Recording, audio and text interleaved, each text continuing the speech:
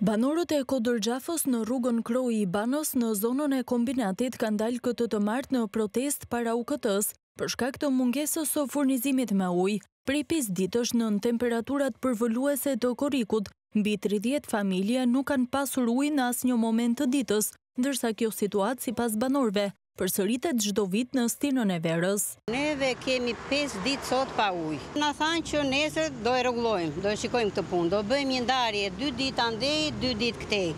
A bëhet kështu? Tani ne duam një zgjidhje, është e trishtë në këtë vapë pa ujë.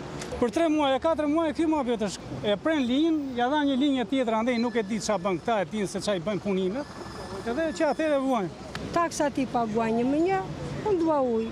Nga qershori deri në tetor ne jemi pa ujë.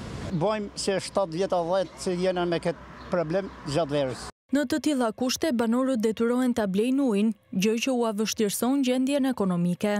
Po, ta blejmë ujin. Është e vështirë ekonomikisht dhe për ta përballuar. Po si s'është, ne s'blejmë dot ujë për të pirë, jo të blejmë neve ujë për të larë dora në ujë, ndrojemi tre herë në ditë. Po ça, boti 30.000 lek, dy depozita.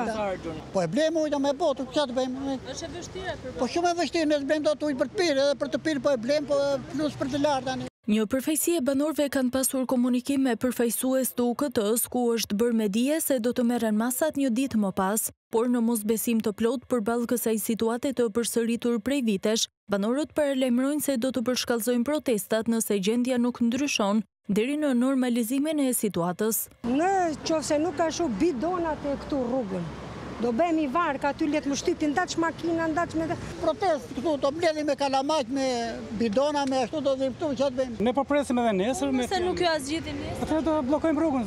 Do zgjidhen se unë pa ujë nuk rri.